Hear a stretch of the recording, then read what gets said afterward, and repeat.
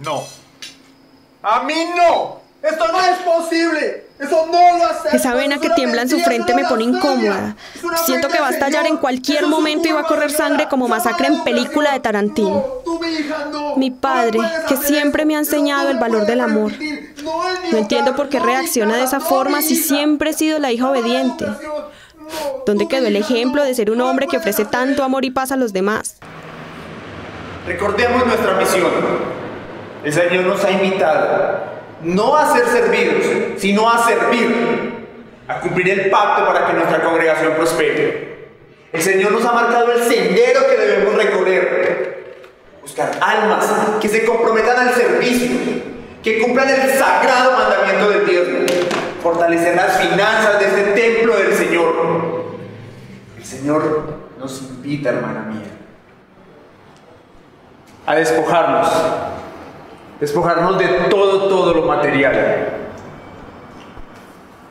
para podernos acercar espiritualmente más a la comunidad. Yo soy el orgullo de papá.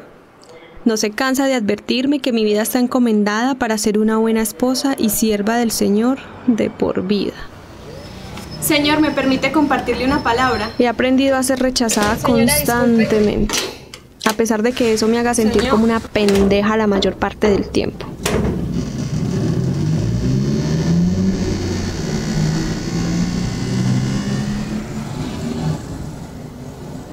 ¿Sí? Señor, ¿le gustaría a la iglesia leer la palabra? Un día, un día fui a la iglesia, ¿sí? Pero no dejé sobrevivientes.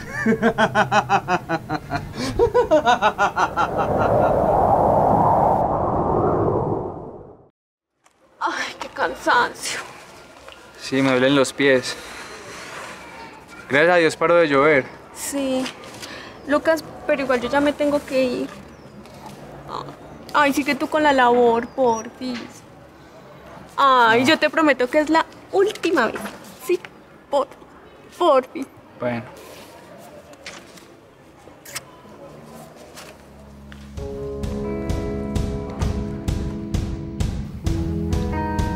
Pero no soy ninguna pendeja. El que esté libre de pecado que tire la primera piedra.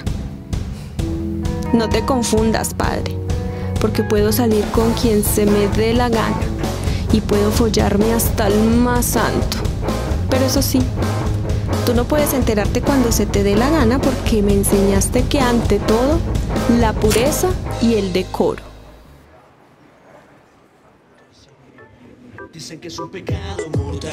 Salí con un puertorriqueño que resultó ser muy buen bailarín. Bueno, no. No era puertorriqueño, ni tampoco buen bailarín. Pero eso sí, era un poeta de grandes ligas. Su poética música con perreo incluido fue suficiente para conquistar. Entre todas las hembritas que conozco, tú eres la más violenta. Pero era demasiado romántico para mí.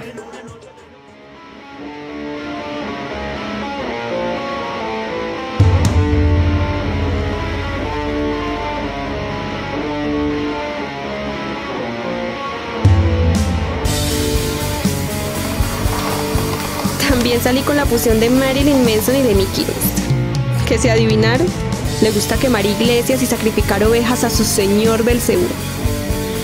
Todo un encanto, al menos conmigo.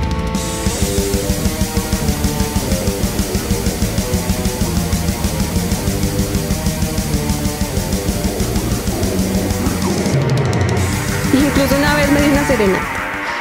Es bastante patético pero extrañamente me excita.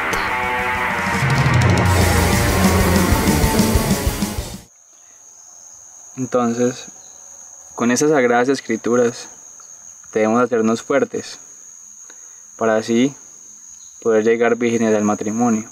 Y como soy sincera y solo miento en clases de prédica, debo confesar que también salí con el niño Seano.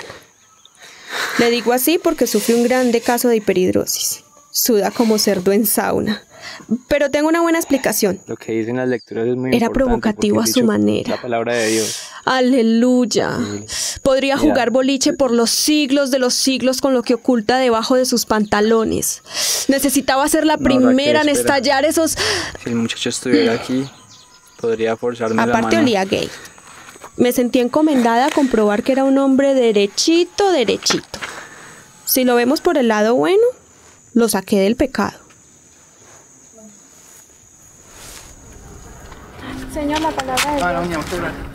Lea la palabra de Dios. El Mamá del mundo se es una mujer que intenta darme ejemplo y privarme de algunos placeres, pero lo único que logra es vestirme ridículamente.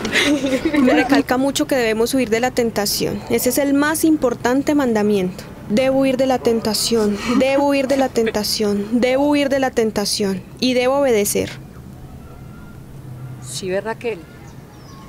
Qué vergüenza estas niñas de hoy en día.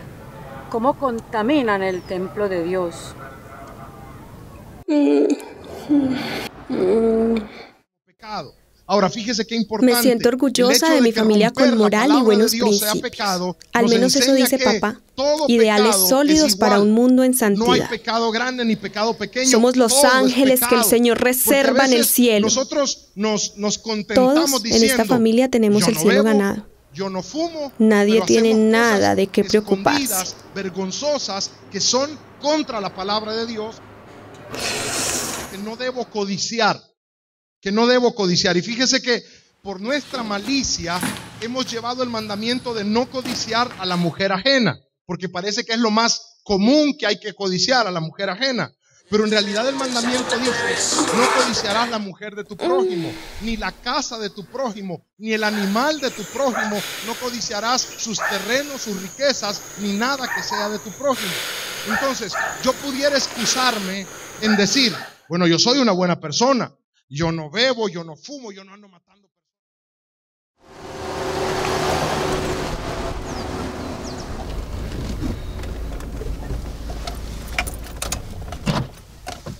Papá, yo estaba pensando, ahorita que dispongo de más tiempo libre, me gustaría mucho entrar al grupo de teatro. Raquel, usted no debe pensar en esas cosas. Usted es una joven que está consagrada a la santidad. Su función es ser una buena esposa. Además, esos espacios se prestan para la lujuria, para atentar contra los principios del Señor. Y usted es una joven pura. Una joven pura.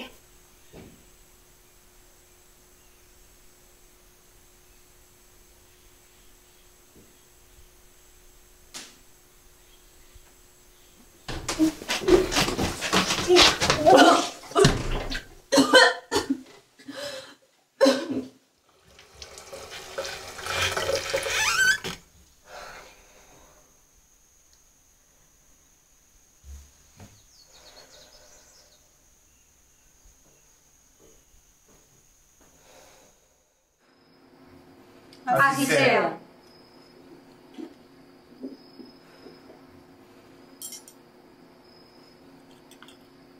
Esther, estuve pensando. Raquel ya tiene edad para casarse. Ha demostrado ser una hija digna, fiel seguidora de los principios del Señor, llevando el apellido bautista muy en alto. Este joven Lucas es un hombre firme, fiel siervo, muy cumplidor de los mandamientos igualmente. No, papá, yo no me puedo casar con Lucas. Usted a mí no me salga con excusas. Esa es una decisión tomada. Ya hablé con el padre de Lucas.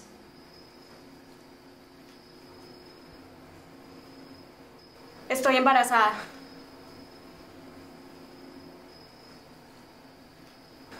No.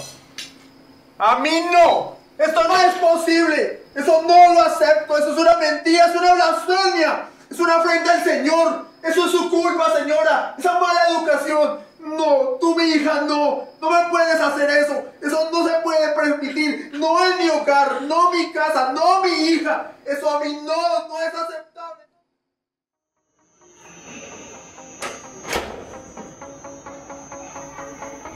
Bueno, no funcionó decirles que era la nueva Virgen María y que una linda paloma me embarazó. Pueden haber muchas excusas para decirle a mis padres por qué quedé algo embarazada. Estaba algo borracha, algo calentona, algo amante de las bolas, ni por más sincero que sea.